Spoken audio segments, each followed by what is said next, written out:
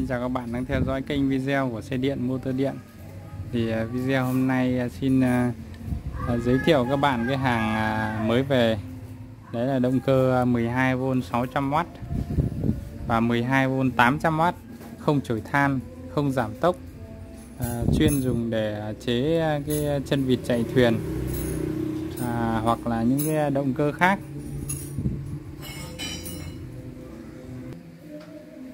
À, mình xin giới thiệu các sơ sơ cho các bạn về các cái uh, kích thước và cân nặng. Thì uh, một số uh, cái dòng này nó rất là nhiều loại. Nó có loại 400W này 500W này 600W thì nhiều khi khách hàng mua là sẽ không biết được là đâu là 400 500 thì thường thường là sẽ đánh giá bằng cái cân nặng. Và cái kích thước thì đối với những cái dòng 400W 500W 600W thì nó kích thước nó khác nhau ví dụ như cái con à, của mình là 600W đây. Thì kích thước à, chiều dài của nó là bằng à, 9cm này.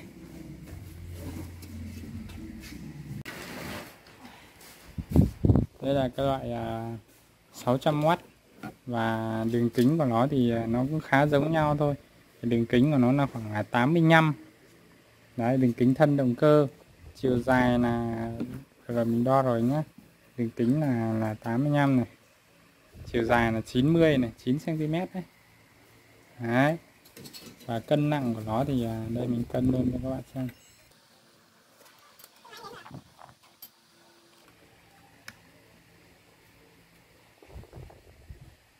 Đây cân nặng của nó là 2,2 kg này.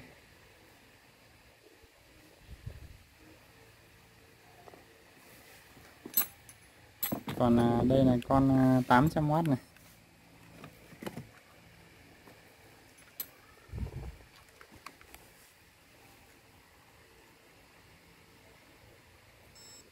Con 800W là nó 2 kg 2,8 kg các bạn nhé.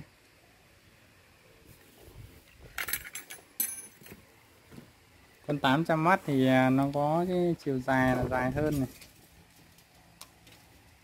chiều dài của cái con à, 800W này nó dài 11 cm các bạn nhé. Đấy. À, hàng thật. Giá chuẩn luôn công suất à, cũng chuẩn luôn. Thì các bạn là thường thường là trên thị trường ấy thì nó có rất là nhiều loại. Thì các bạn cứ à, để ý những cái à, về cái cân nặng và kích thước là các bạn sẽ tính toán được cái, cái công suất ước lượng của nó là như vậy vì với con công suất cao là như con này là con 800W này thì nó là hai cân 8,5 Đấy. còn với cái con 600W này thì à, kích thước à, cân nặng của nó là hai cân 2 gần 2 cân 3 À, tốc độ thì à, ngày trước mình có test một lần rồi thì nó là 1.800 vòng trên phút đối với điện áp 12V còn đối với điện áp 24V thì tất nhiên là công suất à, và tốc độ nó sẽ cao gấp đôi. Tuy nhiên thì à, dòng động cơ này là dòng động cơ chuyên ngỏ 12V các bạn có thể chạy 24V nhưng chỉ chạy trong thời gian ngắn chạy thời gian lâu thì là nó sẽ nóng động cơ. Về bản chất thì động cơ thì nó chỉ có là 12 hoặc là 24 thôi chứ không có cái loại nào mà vừa 12 vừa 24 à, bởi vì cái quần dây nó quấn là cố định nó không thay đổi được điện áp giống như cái à, dòng điều khiển. Đấy, thì các bạn lưu ý những cái vấn đề đấy tất cả là hàng tháo máy nhưng mà gần như là mới. Đây các bạn có thể à, xem qua. Nó chỉ có thể à, là gọi là bị chảy xước thôi chứ ờ, gần như là chưa qua sử dụng. Đấy, tem nhãn còn nguyên này. Với cái dòng à, dây cảm biến này thì thường thường là không dùng đến thì có những con nó bị đứt. Có những con là nó không có. Đấy, thì những cái dòng này là nó không có đâu thì thường thường là chạy các bạn chỉ chạy đến à, ba cái dây pha này thôi. À, mọi chi tiết đặt hàng xin liên hệ 0983 818 955 à, cảm ơn các bạn đã xem à, video.